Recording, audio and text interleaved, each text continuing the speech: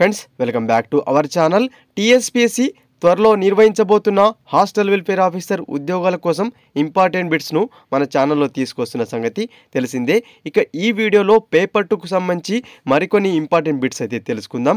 Latest job అప్డేట్స్తో పాటు daily current affairs కోసం మన ఛానల్ని సబ్స్క్రైబ్ చేసుకొని పక్కనున్న బెల్ బటన్ క్లిక్ చేయండి. ఈ హాస్టల్ వెల్ఫేర్ ఆఫీసర్ ఉద్యోగాలకు సంబంధించిన ఫ్రీ ఆన్లైన్ టెస్ట్ రాయాలనుకుంటే మన వెబ్సైట్ని అయితే విజిట్ చేయండి. వెబ్సైట్ లింక్ అనేది డిస్క్రిప్షన్లో ఉంటుంది.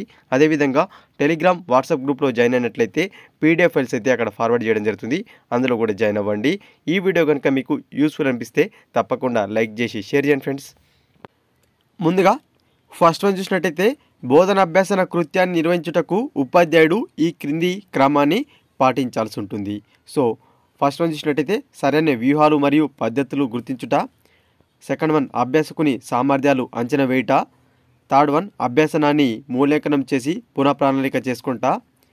ఆప్షన్ ఫోర్ కల్పించవలసిన అభ్యాస అనుభవ అనుభవాలను గుర్తించుట. సో మనకు చూసుకున్నట్టయితే ఇందులో ఫస్ట్ వచ్చేసి ఎవరైతే లెర్నర్ ఉన్నాడో అతని యొక్క సామర్థ్యాలను అయితే ముందుగా అంచనా వేయాలి. ఇది ఫస్ట్ రావాలి. ఓకేనా? అంటే టూ ఫస్ట్ ఉండాలి. అదేవిధంగా మనకు సెకండ్ వన్ చూసినట్టయితే కల్పించవలసిన అభ్యాస అనుభవాలను గుర్తించాలి. టూ ఫోర్ రావాలి. ఆ తర్వాత సరైన వ్యూహాలు మరియు పద్ధతులను గుర్తించాలి. వన్. ఆ తర్వాత మనకు అభ్యాసనాన్ని మూల్యాంకనం చేసి పునః ప్రణాళిక చేసుకుంటా. అంటే మనకి ఏదైతే అభ్యాసం ముందు దాన్ని మూల్యాంకనం ఎవాల్యుయేషన్ చేసి పునః ప్రణాళికలు చేసుకోవాలి. సో ఇది సరైన వరుసక్రమం అనమాట దేంట్లో బోధన అభ్యాసన కృత్యాన్ని నిర్వహించడానికి గాను సరైన వరుసక్రమం ఇది. చాలా చాలా ఇంపార్టెంట్ ఇటువంటి క్వశ్చన్స్ అడిగే అవకాశం ఉంది. వరుస క్రమాలు అయితే చాలా అడుగుతున్నారు రీసెంట్ ఎగ్జామ్స్లో ఓకేనా? చదివేటప్పుడు కంటెంట్ని ఈ విధంగా మీరు క్వశ్చన్ ఫ్రేమ్ చేసుకొని చదవండి. ఈజీగా మనకు ఎగ్జామ్లో స్కోర్ చేసే చేసే అవకాశం ఉంటుంది. నెక్స్ట్ వన్ పియాజే సంజ్ఞానాత్మక సిద్ధాంతం ప్రకారం శిశువు ఆటలాడేటప్పుడు జీవం లేని కొన్ని ఆట వస్తువులకు జీవాన్ని ఆపాదించుట ఏమంటాం? చాలాసార్లు ప్రీవియస్లో ఎగ్జామ్లో అడగడం జరిగింది. ఏవైతే మనకు జీవం లేని వస్తువులకు జీవం ఉన్నట్లు శిశువు అయితే మనకు చూస్తుంటాడు. సో దీన్ని ఏమంటాం? సర్వత్మవాదం అంటాం. ఓకేనా? సర్వత్మవాదం అంటాం. Option B right answer. ఏదైతే జీవం లేని వస్తువులు ఉన్నాయో వాటికి జీవం ఉన్నట్లు శిశువు ఊహించుకుంటాడు. దీన్ని సర్వాత్మవాదం అంటాం. Option B right answer. చాలా చాలా ఇంపార్టెంట్ బిట్. ప్రీవియస్గా చాలాసార్లు అడిగారు. Next one. క్రింది వాటిలో సరైన వ్యా వాక్యాన్ని గుర్తించండి. ఓకేనా? సరైన సెంటెన్స్ను గుర్తించమంటున్నాడు.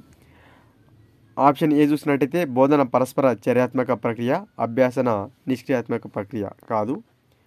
బోధన నిష్క్రియాత్మక ప్రక్రియ అభ్యాసన పరస్పర చర్యాత్మక ప్రక్రియ కాదు. బోధన మరియు అభ్యాసన రెండు కూడా పరస్పర చర్యాత్మక ప్రక్రియలే. ఇది రైట్ అయ్యే అవకాశం ఉంది. ఆప్షన్ డి చూసుకున్నట్టయితే బోధన మరియు అభ్యాసన రెండు కూడా నిష్క్రియాత్మక ప్రక్రియలే కాదు. సో బోధన మరియు అభ్యాసన రెండు కూడా పరస్పర చర్యాత్మక ప్రక్రియలు అనమాట చాలా చాలా important option C. Right answer. ఓకేనా? రెండు కూడా పరస్పర చర్యాత్మక ప్రక్రియలే. నిష్క్రియాత్మక కాదు. Option C right answer. Next one.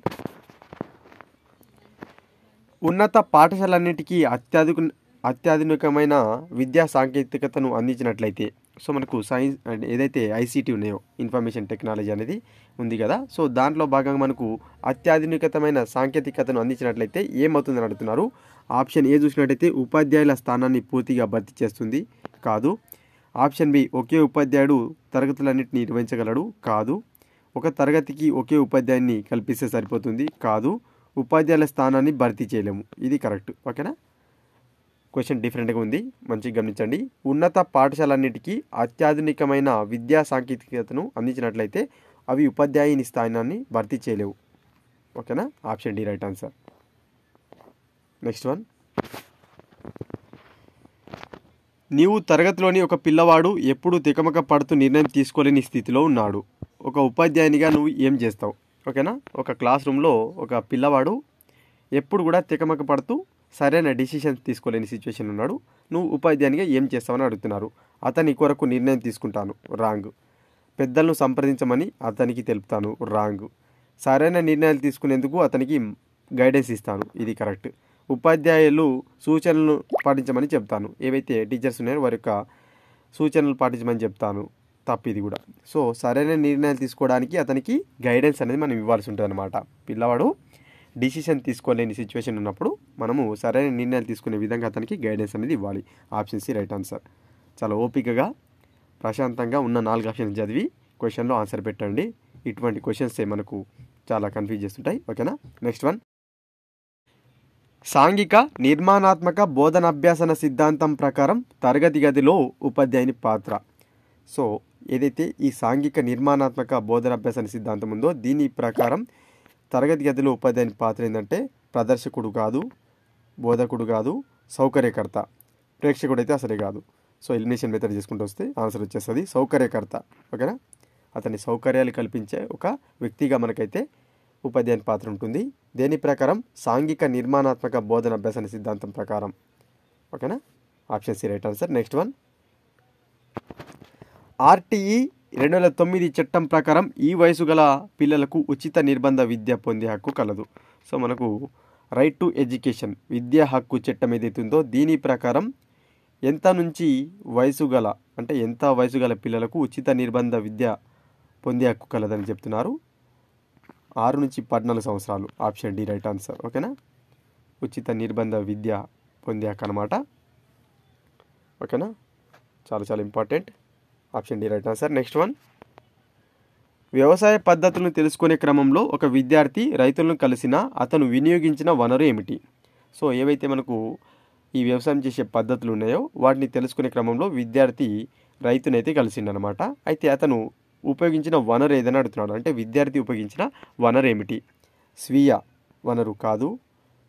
ఇల్లు ఒక వనరుగా ఉపయోగించిండు కాదు. సమాజం అయ్యే అవకాశం ఉంది. డి సాంకేతికతం. ఇది అసలే కాదు. సో సమాజం అనే వనరునైతే విద్యార్థి ఉపయోగించిందనమాట వ్యవసాయ పద్ధతులను తెలుసుకునే క్రమంలో option C right answer. Next one అతి అభ్యాసనం దేనికి దారితీస్తుంది? సో మనకు చాలా చదువుతుంటారు కదా అది దేనికి దారి దారితీస్తుంది అని అడుగుతున్నారు. అతి అభ్యాసనం ప్రావీణ్యతను పెంచుతుంది అయ్యే అవకాశం ఉంది. అభ్యాసనాన్ని తగ్గిస్తుంది కాదు ఎందుకు తగ్గిస్తుంది? స్మృతిని తగ్గిస్తుంది ఎందుకు తగ్గిస్తుంది? కాదు అనాసక్తిని కలిగిస్తుంది. ఇంట్రెస్ట్ లేకుండా చేస్తుందంట. కాదు ప్రావీణ్యతను పెంచుతుంది. ఓకేనా? చాలా చాలా ఇంపార్టెంట్. ప్రావీణ్యతను పెంచుతుంది. ఏంది? అతి అభ్యాసనం. ఎక్కువ చదవడం అనేది ప్రావీణ్యతను పెంచుతుంది అనమాట ఆ సబ్జెక్ట్లో. Option A right answer. Next one. ఈ స్మృతి టెక్నిక్ను ఉపయోగించి పిల్లలు ఇంద్రధనస్సును విబ్జిఆర్గా గుర్తుంచుకుంటారు. సో మనకు ఈ విబ్జిఆర్ను పిల్లలు గుర్తుంచుకునే దాన్ని ఏ స్మృతి టెక్నిక్ అంటారు? కొండ గుర్తులు. ఓకేనా? కొండ గుర్తులు అనేది ఉపయోగించి అయితే మనం విభజాను గుర్తుపెట్టుకుంటాం. సో ద్వంద్వ సంసర్గ అభ్యసనం కాదు వల్లే వేయట కాదు గుంపులుగా ఏర్పరచుకునే కాదు. కొండ గుర్తులు ఉపయోగించే ఈ విభజాన్ని అయితే గుర్తుపెట్టుకుంటారు పిల్లలు. ఓకేనా? Option A right answer. Okay friends ఇవి మనకు ఈ వీడియోలో భాగంగా ఇంపార్టెంట్ బిట్స్ అనమాట వీడియో కనుక మీకు యూస్ఫుల్ అనిపించినట్లయితే తప్పకుండా లైక్ చేసి షేర్ చేయండి. హెచ్డబ్ల్యూ ఉద్యోగాలకు సంబంధించిన ఫ్రీ ఆన్లైన్ టెస్టులు రాకుంటే ఖచ్చితంగా అయితే మన వెబ్సైట్ని విజిట్ చేయండి. సో అక్కడ ఫ్రీ ఆన్లైన్ టెస్టులు కండక్ట్ చేస్తున్నాం. అదేవిధంగా టెలిగ్రామ్ గ్రూప్లో జాయిన్ అయినట్లయితే లేటెస్ట్ అప్డేట్స్ కూడా మీరు పొందే అవకాశం ఉంటుంది. ఈ వీడియో కనుక నచ్చినట్లయితే లైక్ చేసి షేర్ చేయండి ఫ్రెండ్స్.